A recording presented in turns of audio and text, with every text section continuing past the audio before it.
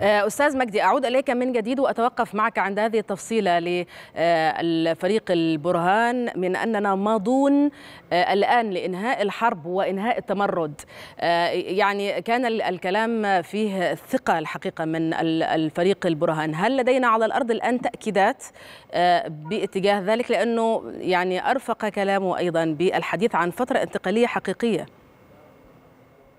إذا كنت تتحدثين عن الواقع العسكري أقول لك الآن تطور كبير منذ 15 أبريل لصالح القوات المسلحة. كما تعلمين أن في ذلك اليوم حوالي 600 مركبة عسكرية هاجمت القيادة العامة وهاجمت منزل الفريق أول عبد الفتاح البرهان بغرض اعتقاله أو قتله امتصت القوات المسلحة الصدمة الأولى. القوات المسلحة استخدمت استراتيجية واضحة جدا هي استراتيجية تدمير العدو واستنزافه منذ الأسابيع الأولى دمرت كل معسكرات التمرد وقطعت خطوط إمداده. تحول التمرد الآن إلى حرب المدن والدخول إلى بيوت الناس. القوات المسلحة واكبت هذا التغير بتغيير تكتيكاتها بإدخال فرق العمل الخاص والقوات الخاصة إلى المدن وإلى البيوت وكذلك أعلنت حالة التعبئة العامة حتى يقوم الشباب المستنفرين بحماية الأحياء بعد تطهيرها من المتمردين. الآن الفريق الأول عبد الفتاح البرهان بهذا الخروج يعلن عن مرحلة جديدة، مرحلة عسكرية قبل أن تكون مرحلة سياسية في إنهاء التمرد.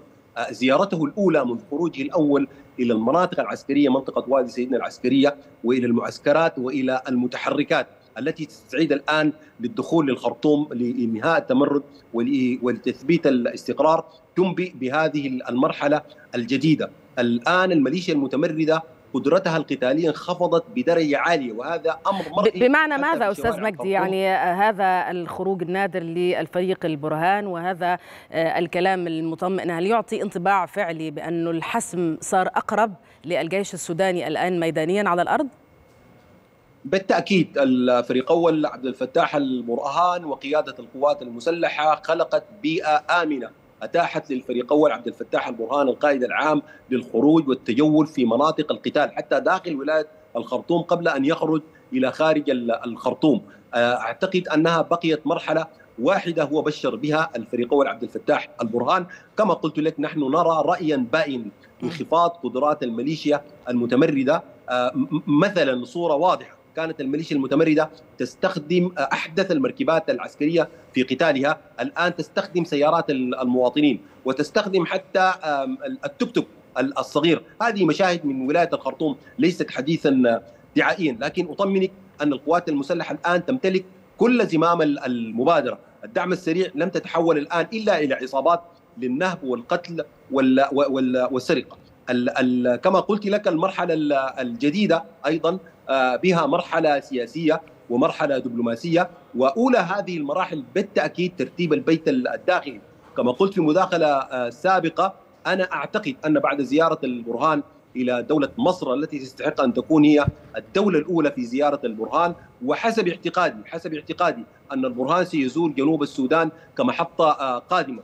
وأعتقد بعد هاتين الزيارتين سيشرع الفريق اول البرهان والقيادة السياسية في تكوين حكومة طوارئ لأن الأمر الآن يحتاج بشدة إلى ترتيب البيت الداخلي إلى حكومة طوارئ تقوم بالشأن التنفيذي وتقوم بمجابهة آثار الحرب وتقوم بإعادة عمل الدولة الاقتصادي والتعليمي والصحي الذي توقف كبيرا وكذلك تقوم هذه الحكومة بالتواصل مع العالم الخارجي عبر الدبلوماسية السودانية. وبذلك تكون القيادة السياسية والقيادة العسكرية في السودان قد بدأت ترسم في خطوط النهاية لهذا المشهد الدامي هذا المشهد المأساوي الذي سيسجله آه. التاريخ يعني ننتظر تشكيل حكومة جديدة. أستاذ مجدي في قادم الأيام بعد عودة بالأحرى الفريق ركن عبد الفتاح البرهان. أنا أعتقد هذا اعتقادي وأحلل ذلك. أنه بعد هذه الزيارة المهمة وأعتقد بعد زيارة مهمة أعتقد أيضا لدولة مهمة بالنسبة للسودان هي جنوب السودان. سيشرع في تكوين حكومة طوارئ. ليست حكومة جديدة هي حكومة مهام محددة حكومة طوارئ حتى تقوم لها تكون لها مهام محددة تقوم بإنجازها في الفترة القادمة. مهام متعددة في عدة جوانب كما ذكرت.